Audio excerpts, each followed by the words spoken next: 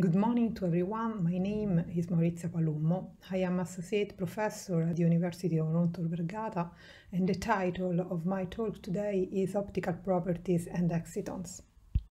If you are attending this school, probably it's because you are interested in one of the field of application mentioned in this slide, and maybe you wish to calculate and explain experimental optical spectra, or even to be predictive on the optical properties of novel materials of possible interest for one of these applications, while you will see in the next talk uh, the mathematical derivation and the, the practical implementation of the equation required to reach this goal. Here I will try to give you a first introduction with a few mathematics, but trying to focus more on the physical aspect related to it. So the outline of my talk is the following. First, I will do a brief remind of what we have learned up to now. Then I want to discuss which are the main missing physical ingredients and how it is possible to include them through the solution of the so-called Bethe-Salpeter equation. And finally, I will try to give you few examples to show why and when these effects are important. The first point that we have learned is that charged excitation probed by experiments like photoemission, inverse photoemission, or scanning tunnel spectroscopy are formally different from neutral excitation probed instead by experiments like absorptions, reflectance, transmission, or energy loss spectroscopies, where the electrons are excited to unoccupied states but do not leave the system. So keep in mind that in principle the electronic and optical gap of material can be quite different and we will see when and why this happens. Note also that among the spectroscopies related to neutral excitation, I'm mentioning here also the photoluminescence, which is indeed a tool frequently used to probe nanomaterials, but uh, since it is formally an out of equilibrium process and quite often it involves the interaction with the phonons of the system, I will skip to discuss it during this introductory presentation. Moreover, from the lecture on linear response theory, we have seen how, at the independent particle level of approximation, the absorptions turn out to be proportional to a sum of independent electronic transitions from occupied to unoccupied states, obtaining an expression that is nothing else than the famous Fermi golden rule that you have probably learned in your master courses on quantum mechanics. But now you should be aware also of the fact that using this expression to calculate the spectrum of a bulk material like silicon both at the DFT or even at the GW level of approximation, you are not able to obtain a good description of the experimental curve.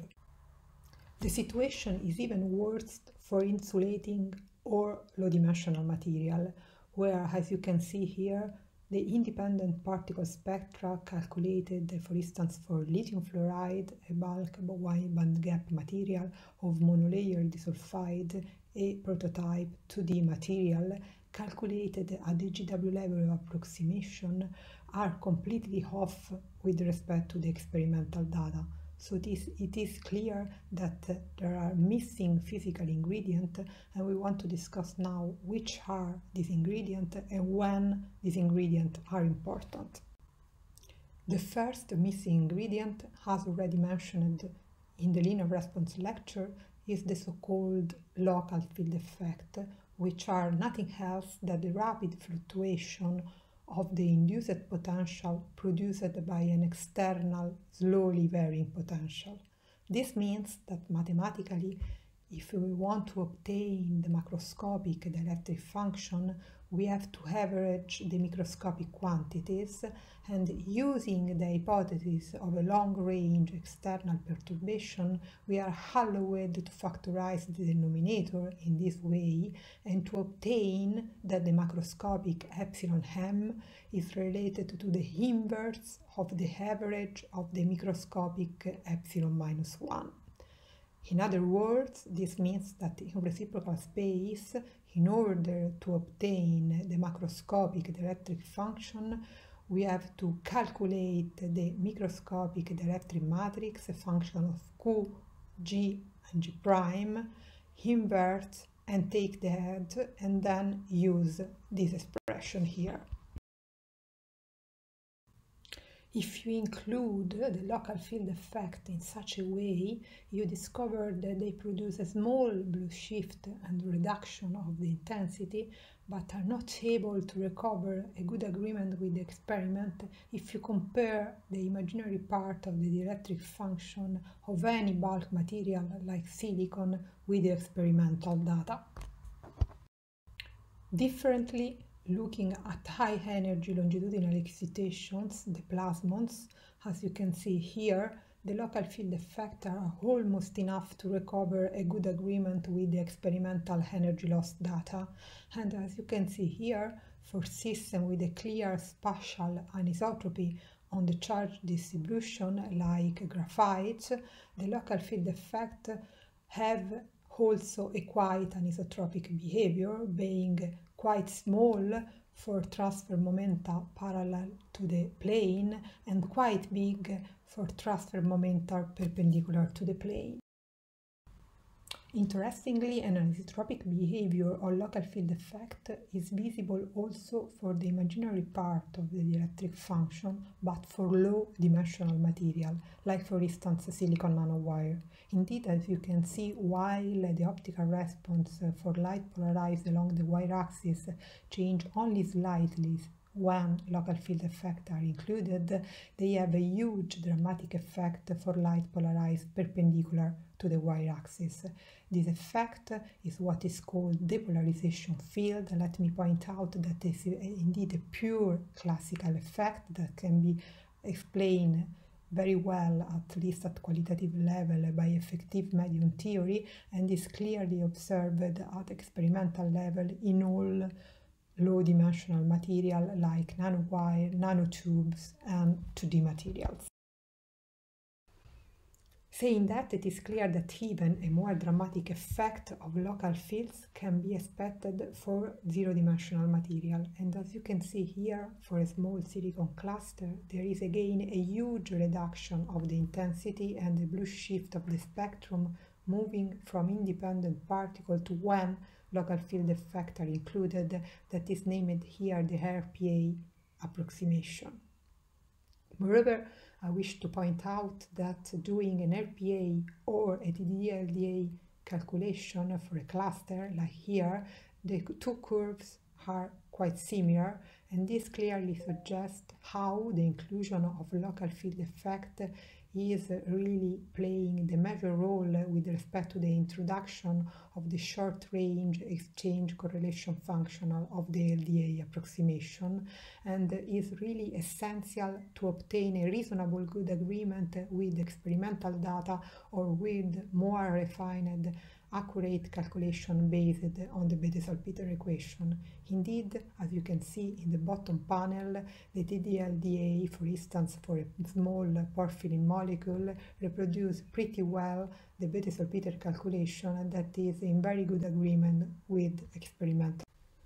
So the take-home message of this part of the seminar are that local field effects are related to a non-uniform distribution of the charge densities and they can be quite anisotropic, that they are generally small in solid while they are quite important in isolated systems.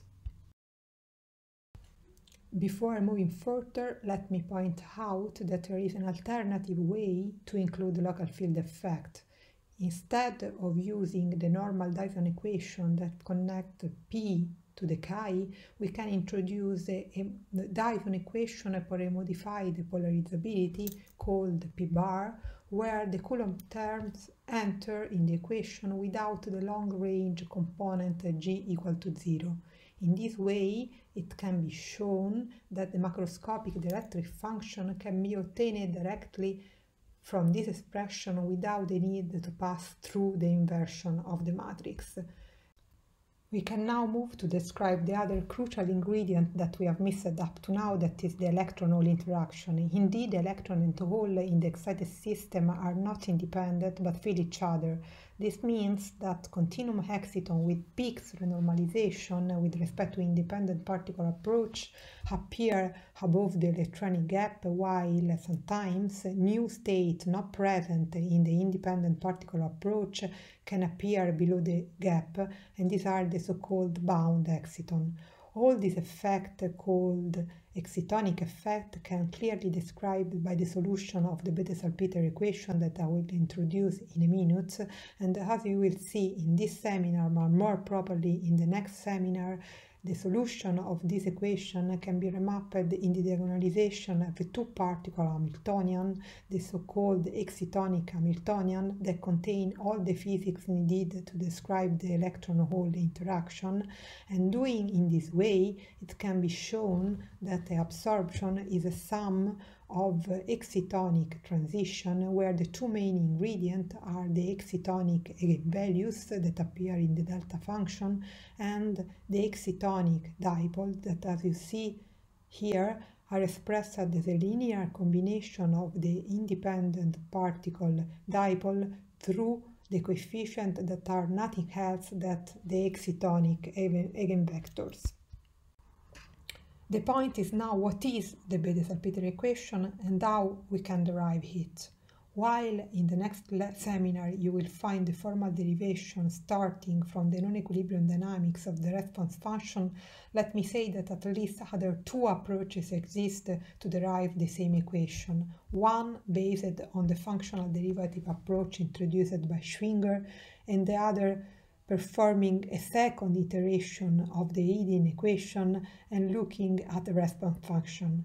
Indeed, whatever is the route that you choose to obtain the Bethe-Salpeter equation, is clear that the physical quantity that we have to deal with is the response function. Saying that, it is clear that since the physical effect that we want to describe is the electron-hole interaction, mathematically what we need is to find an equation for the polarizability beyond the independent particle approach, but taking into account the gamma vertex. This can be done performing a further iteration of the Hedin equation with respect to what you have seen for the GW methods, and then it can be shown that the equation for the polarizability can be written in terms of a Dyson-like equation, the Bethe-Salpeter equation, for a generalized four-point reducible polarizability where L describe the correlated electron hole propagation in terms of an uncorrelated propagator L0 and the so-called Bethe-Salpeter kernel. Using the GW expression for the self-energy and assuming that the screening does not depend from the Green function, it can be shown that the Bethe-Salpeter equation become written in this way, where I explicitly written all the spatial and temporal and spinorial index here. As you can see, now in the kernel appear two terms, one that is the exchange term that represents the electron hole repulsion, V, the unscreened Coulomb potential, while we have the direct term minus W that represents instead the electron hole attraction. Assuming to have solved the equation for L, the connection with the electric response and then with the spectra is immediate after a contraction of indices and in a similar way substituting in the kernel the full Coulomb term V with what we called before P bar, we are able to solve the equation for the modified polarizability introduced before at independent particle level and then to obtain directly the macroscopic dielectric function and the absorption spectrum. Now, without entering too much in detail, since in the next seminar you will see better the connection between the response function equation and the excitonic Hamiltonian and the spectrum, let me say that in this derivation, starting from the Hedin equation, another crucial assumption done in the solution of the Bethe-Salpeter equation is the fact that the screening W is static. Doing in this way and moving to the transition space it is indeed possible to invert the equation at each omega and write L or bar in terms of an excitonic Hamiltonian that is a two-particle Hamiltonian that contain all the physics described before. As you can see, indeed, in the diagonal part we have the transition energy at the quasi-particle level between occupied and unoccupied states, while there are diagonal and non-diagonal term composed by what, what is called the kernel of the Bethe-Salpeter that contain, as you can see, two terms, the exchange term V or V bar, depending if you want to calculate L or a bar, and minus W that is the electron hole attraction.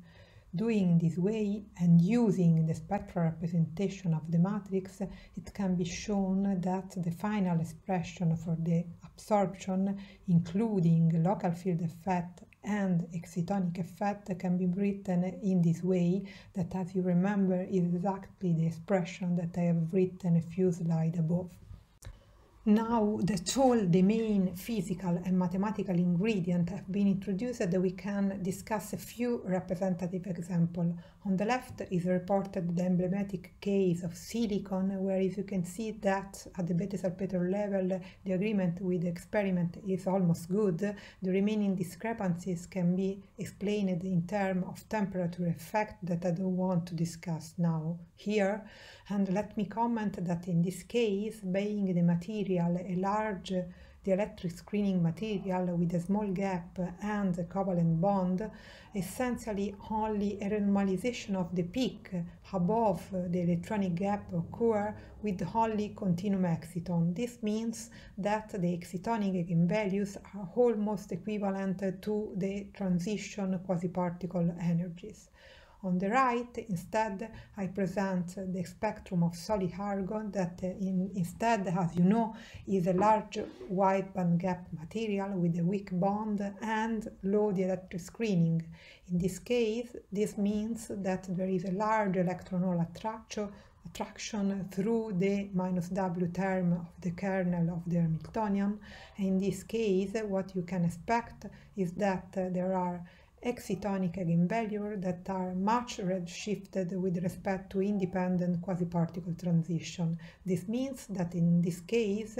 the uh, Bethe-Salpeter solution is able to recover the bound exciton below the, ga the gap that are not the, uh, obtainable at any independent particle level.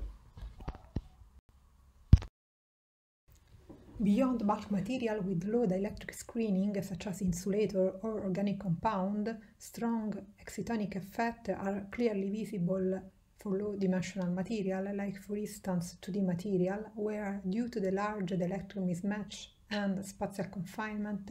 exciton stable at room temperature have been experimentally observed quite often, like for instance for the case of molybdenum diselenide on a bilayer of graphene, where the electronic gap resulted much larger than the optical gap measured with photoluminescence, or for interlayer exciton observed in many TMD bilayer or at the interface between organic molecule and 2D material. In this context, as you probably are aware, the Bethe-Salpeter calculation do a pretty good work being able to reproduce and explain the uh, excitonic optical spectra of many 2D material. Here just, here just an example on the left for uh, several TMD monolayer. They are able also, for instance, to explain the uh, Rydberg series uh, of the excitons that are not well described indeed by a simple 2D uh, hydrogenic model when uh, local and uniform uh, dielectric screening are used. And also, uh, I want to point out the fact that uh, uh, this kind of calculation is able to explain, for instance, the fact that uh, in this kind of layered material, the uh, optical gap are almost uh, stable, changing the number of layers. They do not change too much in energy, while the electronic gap measured, for instance, with the scanner tunnel spectroscopy really depend from the number of layers. And this is clearly, again, as you can understand now, to the role played by the, the electric screening that increase Eh, increasing the number of layer and so this means that there is a, a clearly reduction of the bonding energy. Similarly, also oh, for monolayer um, on top of different substrate, the Bethe-Salpeter calculation for 2D material are able to explain again the reduction of the bonding energy when substrate that are more polarizable, like for instance graphite instead of boron nitride, are used. so let me conclude saying that uh, several extensions of the Bethe-Salpeter equation that I start to discuss uh, in this uh, seminar are actually possible and some of these uh, extensions are also available in the GPL version of Yambo, like for instance uh, the finite momento Bethe-Salpeter equation that allow for instance to calculate the excitonic dispersion Eh, in eh, several material or also the finite temperature version of the BSA that has been applied several times to demonstrate the dependence of the optical spectra from the temperature with the shift of the peak and the change of the intensity of the peak. But uh, let me also mention the fact that uh, there have been recent effort with a few uh, references that are shown here dedicated to describe the phonon-assisted PL spectra with a first description of the exciton-phonon interaction. You can find the detail in all the, this reference. And finally, also there is a, a, a strong implementation of um, in the real-time Bethe-Salpeter equation that uh, allow in principle to calculate uh, transient absorption spectra and in general uh, ultra-fast uh, um, carrier dynamics uh, properties that are really of eh, great and big interest in eh, many cases. So let me give you here some references about the Bethe-Salpeter derivation and application. You can find more on the web page of Yambo. With that, I really thank you for your attention.